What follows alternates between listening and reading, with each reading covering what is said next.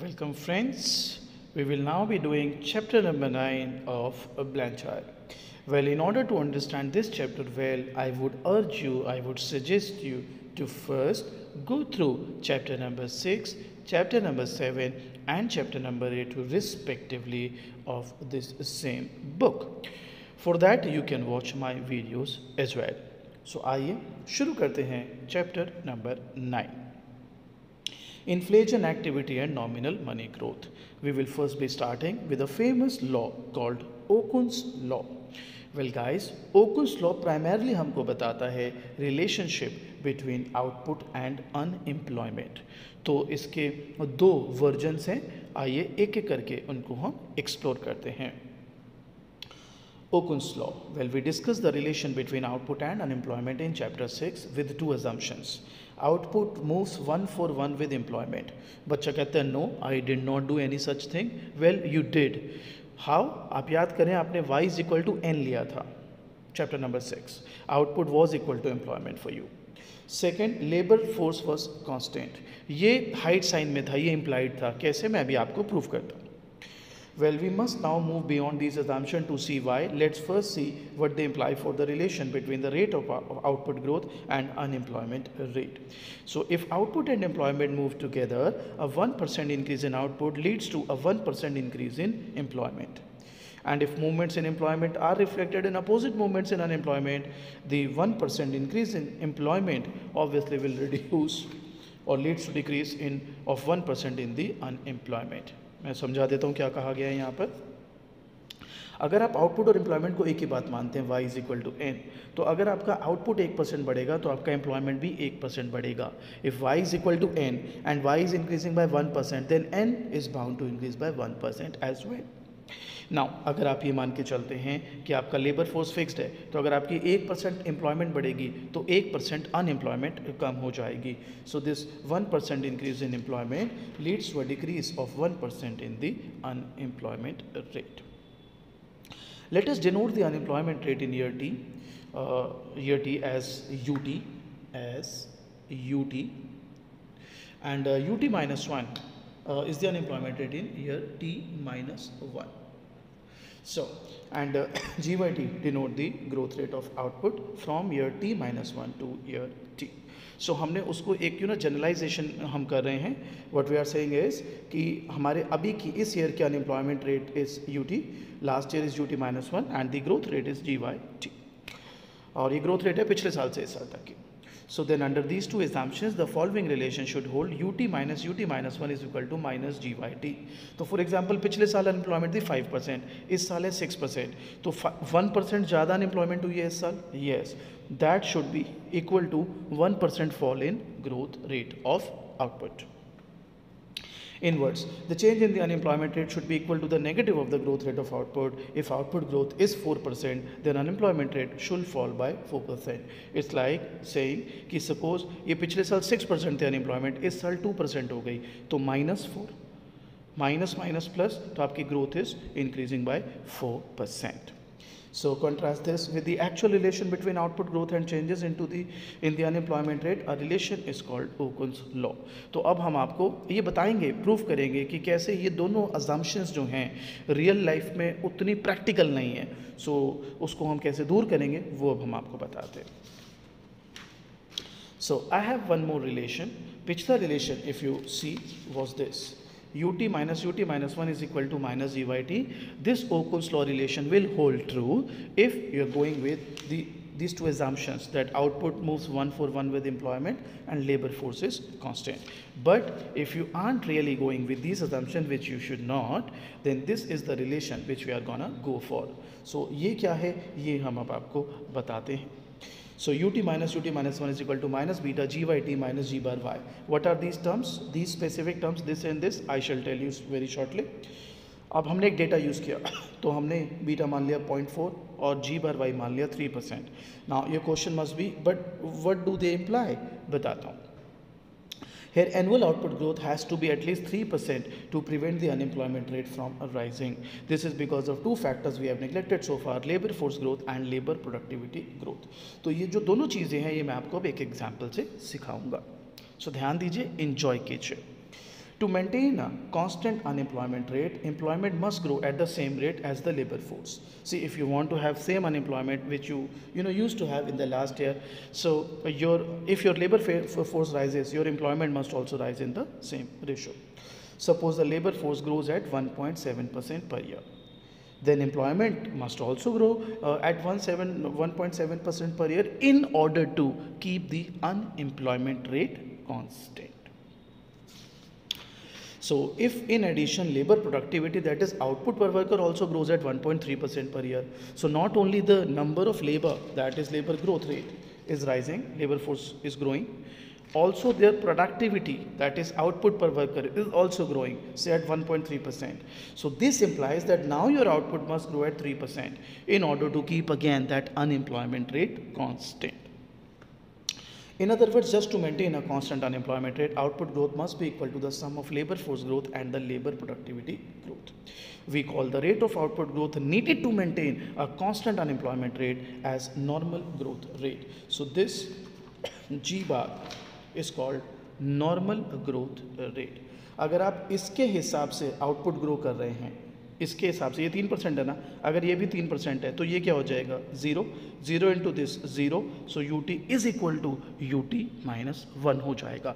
यानी you will be keeping your unemployment rate constant how if you are growing your output और if your growth rate of output G Y T is equal to G bar Y that's normal growth rate of output in this example of ours we have assumed it it to be three percent so if your actual growth rate of output is also three percent that whole thing will become zero and then ut shall be equal to ut minus 1. So, अब बात करते हैं और elements की the coefficient on the right side of equation is minus point four compare to minus one in equation one तो आप पहले one for one ले रहे थे कि भाई आउटपुट एक परसेंट बढ़ेगा तो एम्प्लॉयमेंट एक परसेंट बढ़ेगी एम्प्लॉयमेंट एक परसेंट बढ़ेगा तो अनएम्प्लॉयमेंट एक परसेंट गिर जाएगी। वेल well, uh, अब हमने वन ना लेकर उसको पॉइंट फोर लिया है। तो इसका मतलब क्या है?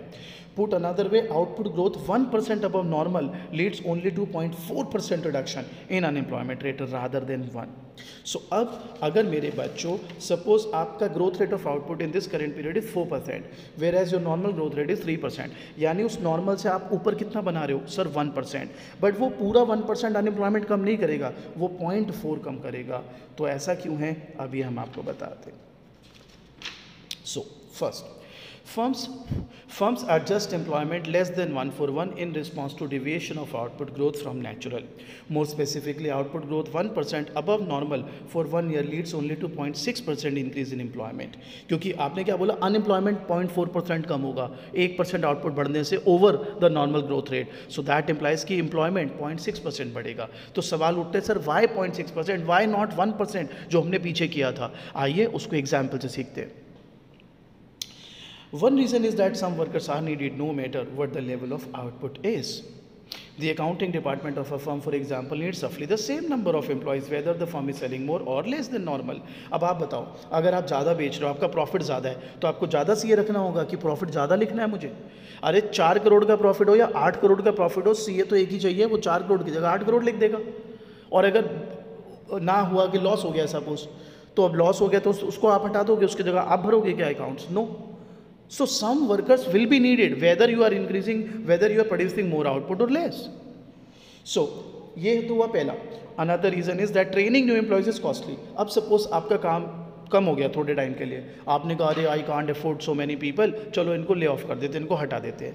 जब काम इंप्रूव होगा और फिर जब आप नए बंदे रखोगे डोंट यू थिंक रिक्रूटमेंट की कॉस्ट आएगी ट्रेनिंग की कॉस्ट आएगी? उस कॉस्ट को भी तो आप ही को बेयर करना पड़ेगा। फिर उनको इंडक्शन का टाइम देना पड़ेगा, उनको एडजस्ट होने का टाइम देना पड़ेगा, आपको समझना पड़ेगा, उनको उनको समझना पड़ेगा, आपको well in this competitive world who has that much time so another reason is that training new employees is costly for this reason firms prefer to keep current workers around rather than lay, you know rather than laying them off when output is lower than normal and to ask them to work overtime rather than hire new employees when output is higher than normal अगर आपका output ज़्यादा है demand ज़्यादा आ रही है तो obviously you will be requiring more labour hours but firms क्या करेंगी यू नो नए को रखने से बजाय इनको जो एग्जिस्टिंग है उनको बोलेंगे यार ओवर टाइम कर दो In bad times, firms in effect uh, hoard labor, the labor they will need when times are better. This is why this behavior of firms called is labor hoarding. ठीक है मेरा आज काम नहीं है लेकिन मैं उसको रखूँगा क्योंकि आ, मैं अगर इनको अभी हटा देता हूँ और कल को टाइम इंप्रूव होगा तो मुझे नए बंदों को रिक्रूट करना होगा सिलेक्ट करना होगा ट्रेनिंग देनी होगी। ओ hell lot of a process I don't want to you know get into that so second an increase in the employment rate does not lead to one for one decrease in unemployment तो अभी हमने देखा जो output बढ़ा तो employment उतनी नहीं बढ़ी। अब हम देखेंगे कि एम्प्लॉयमेंट अगर बढ़ी तो अनएम्प्लॉयमेंट उतनी कम क्यों नहीं हुई? So an increase in the employment rate does not lead to a one for one decrease in unemployment rate more specifically a point six percent increase in employment rate leads only to point four percent decrease in unemployment rate why so let's see why so. So, the reason is labor force participation increases. When employment increases not all the new jobs are filled by the unemployed some of the jobs go to the people who were classified as out of the labor force meaning they were not actively looking for a job तो जब वो labour force में थे ही नहीं और job उनको चली जाती है तो आपके हिसाब से पुराने लेबर फोर्स में जो बंदे थे सारी जॉब तो उनको गई नहीं क्योंकि इनमें से जो नई जॉब्स क्रिएट हुई हैं कुछ जॉब तो उनको चली गई ना जो पहले लेबर फोर्स का पार्ट ही नहीं थे बच्चे समझे ये बात सपोज़ आपके पास दस लोग हैं ठीक है? दस लोग में से आठ लोगों को तो आपने एक एक लड्डू दे दिया। दो को नहीं मिला था। ठीक है? अब वो बाद में एक लड्डू या तीन लड्डू, दो लड्डू आ गए सपोज़ अब वो दो लड्डू जब आ गए तो आपने देखा कि जो आपके दो बंदे बचे हुए थे, उसमें से एक अभी भी बचा हुआ है। आपने कहा, ये कैसे हो गया? तो पता चला, वो दस के बजाय बंदे ग्यारह हो गए, एक और बंदा आ गया लड्डू लेने के लिए। तो वो जो दो एक्स्ट्रा लड्डू क्रिएट हुए थे, एक तो पुराने वाले को गया जो दो में से बचा हुआ था, और एक नए को चला गया। तो पुराने दस में से आठ तो काम, आठ को तो लड्डू मिला हुआ था, दो को नहीं मिला हुआ था। आपने दो लड्डू क्रिएट करे नए, लेकिन तब भी उन दोनों को नहीं मिले, सिर्फ़ एक को मिला, और एक जो लड्डू था, वो किसी नए बंदे को मिल गया, जो पहले उस दस के अंदर था ही नहीं। This is what we are facing so दोबारा पढ़ते हैं। When employment increases not all the new jobs are filled by the unemployed some of the jobs go to people who were classified as out of the labour force meaning they were not actively looking for a job also as labour market prospects improve for the unemployed some discouraged workers who were previously classified as out of labour force वो नहीं जा रहे थे jobs के लिए decide to start actively looking for a job उनको लगा, यार, अब तो मार्केट सुधर गई है, अब तो हमें जॉब मिल सकती है। तो वो भी अब जॉब ढूँढने आ गए। जबकि वो पहले नहीं आते थे तो जब वो पहले नहीं आते थे तो हमारे लिए वो लेबर फोर्स का पार्टिसिपेशन का पार्ट ही नहीं थे। अब वो आ गए तो लेबर फोर्स पार्टिसिपेशन बढ़ गई। And they become classified as unemployed. So for both reasons, unemployment decreases less than employment increases. क्योंकि लेबर फोर्स पार्टिसिपेशन अगर बढ़ जाएगी तो आपकी लेबर फोर्स ही बढ़ गई ना। तो जो पहले अनएम्प्लॉयड थे सारी जॉब उनको नहीं जा रही। कुछ उनको भी जा रही है जो पहले लेबर फोर्स में नहीं थे अभी आए सो ओ को स्लो में दोबारा बोल रहा हूँ। U T minus U T minus one minus beta G Y T minus G Y bar this captures और measures the effect of output growth over normal on unemployment rate Phillips का, ये आपको same लगेगा। आइए पढ़ लेते हैं। ये आपने चैप्टर एट में किया है। We saw in chapter eight that this relation can be expressed as a relation between inflation expected inflation and unemployment that's the Philip curve. So pi t is equal to pi t minus alpha ut minus un that says inflation depends on expected inflation and the deviation of unemployment from NRU. We could also express the same relation as this. Mind it theta 1 later. Here inflation is well approximated by last year inflation that's why theta is equal to 1. So unemployment below the natural rate, unemployment below the natural rate leads to an increase in inflation ये, अगर इससे कम होगा तो inflation बढ़ेगी। Unemployment above the natural rate if U T is more than U N तो फिर inflation गिरेगी। और ये तो आपको वैसे भी पता है, अगर अनएम्प्लॉयमेंट रेट नेचुरल रेट से ज़्यादा है अनएम्प्लॉयमेंट अगर ज़्यादा है तो वेजेस क्या होंगे? सर कम। वेजेस कम होंगे तो कॉस्ट ऑफ़ प्रोडक्शन कम प्राइसेस कम इन्फ्लेशन कम। ये तो चैप्टर सिक्स सेवन में ये तो पढ़ के आ रहे हैं। अब आते हैं आपके लिए एक नया रिलेशन लेके that's called aggregate demand relation So in chapter 7 we derived the AD relation as a relation between the level of output and real money stock that's LM, government spending and taxes that is IS. अब याद करो जब मैंने AD derive करके दिया था आपको तो मैंने IS LMC तो डिराइव किया था ये लिखा है यहाँ पर So YT is equal to Y MT upon PT LM function GT DT IS functions. Now that we have added time indices which we did not in chapter 7 obviously. So to focus on the relation between real money stock and output, we will ignore changes in factor other than real money. So अब हम सिर्फ इसको इसको focus करेंगे इस वाले चीज़ को M T by P T we will not be considering I S elements. Why? Because we just want to focus between the relation of real money stock and output. So we will not be considering the IS thing that is GT and TT. So मैंने इसको लिख दिया Y T is equal to gamma M T upon P T so we gamma is a positive parameter this equation states that the demand for goods and thus output is simply proportional to the real money stock. Higher the money stock, higher shall be the output and higher the output, higher shall be the real balance. So an increase in the real money stock leads to a decrease in the interest rate. जायज़ बात है याद करो L shift हो जाता था decrease in interest rate leads to increase in demand for goods and therefore to increase in output. याद करो ना यार increase in real money stock increase in real money stock अब अगर मनी स्टॉक बढ़ाते हो, आप मनी सप्लाई बढ़ाते हो तो L M rightward shift हो जाते हैं। और अगर L M rightward shift हो जाता है तो इंटरेस्ट गिर जाता है। इंटरेस्ट गिरेगा तो यू नो इन्वेस्टमेंट बढ़ेगा कंजम्पशन भी बढ़ेगा। लोग कंजम्पशन गुड्स के लिए भी लोन लेंगे होम लोन लेंगे, गाड़ी का लोन लेंगे। सो डिमांड बढ़ जाएगी। So equation 5 gives a relation between levels. This is that's the output level, the level of money and the price level. So we need to go from this relation to a relation between growths. So the growth rate of output, the growth rate of money and the inflation rate. Uh, that is the growth rate of price level. अभी तक जो हमें था वो सीधा relation था कि okay this is output this is money this is price now we want to see the growth in this so इसको फिर हम कैसे देखते हैं? लॉग टर्म्स में सॉल्व करें let G Y T be the growth rate growth rate of output let pi T be the growth rate of price level and the rate of inflation and G M T be the growth rate of nominal money so again we are talking about the output we are talking about the nominal money growth and we are talking about the price but वहाँ पर जब हमने किया था, वो straight relation था कि okay this is the output this is the nominal money this is the general price here we are saying not the output growth rate of output. Not talking about nominal money only we're talking about growth rate of nominal money and obviously not the price level but we are talking about rate of inflation so उनका जो change है जो growth rate है उसके बारे में अब हम फोकस करेंगे सो so, हमने पुरानी वाली इक्वेशन को लॉग टर्म्स में सॉल्व करके ऐसा लिखा G Y T is equal to G M T minus pi T So if nominal money growth exceeds inflation, real money growth is positive and so is output growth. If nominal money growth is less than inflation, real money growth is negative and so is output growth. जो कि यहाँ से दिख रहा है. In other words, given inflation, uh, expansionary monetary policy that is high nominal money growth leads to high output growth. This is higher should increase output growth.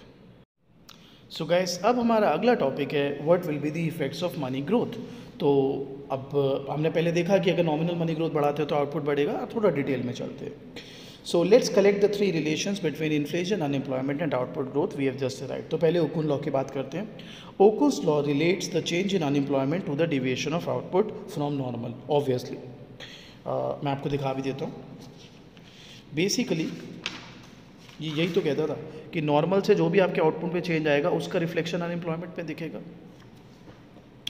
Phillips curve shows the relation between A S as it relates the change in inflation to the deviation of unemployment from the natural rate तो अगर unemployment natural rate से change होगी तो inflation में फ़र्क आएगा right right? So the aggregate demand relation, uh, you know, tells us or relates output growth and the difference between nominal money growth and inflation. तो अब वहाँ से inflation में change आएगा यहाँ का inflation change आपके output growth को show करेगा So these three relations are shown in the following figure. Start on the right.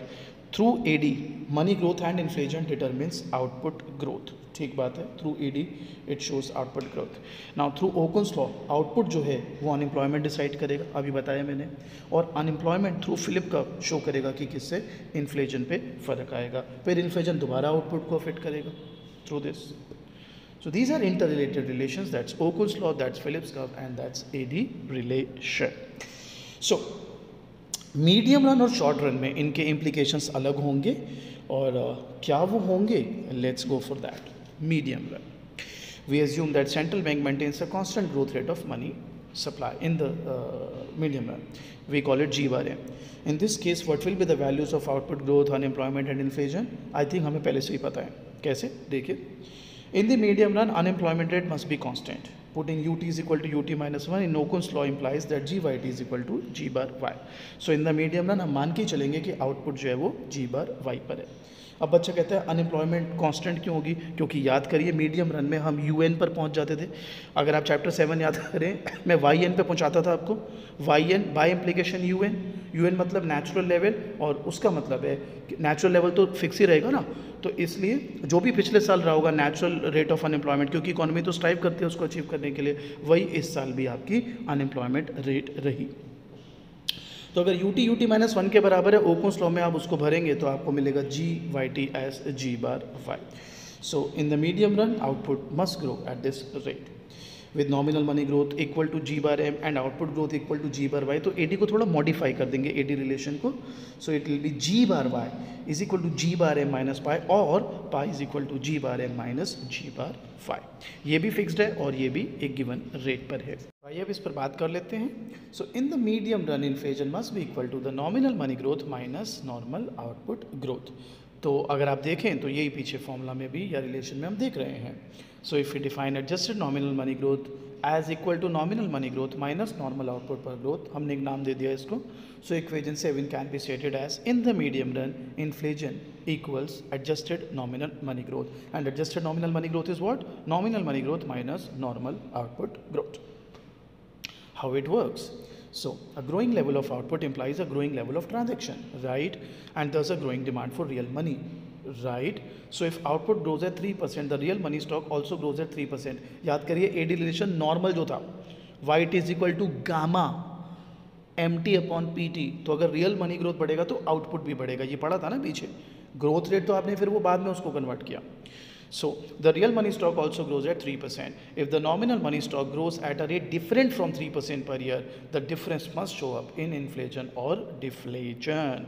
For example, if nominal money growth is 8%, then inflation will be equal to 5%.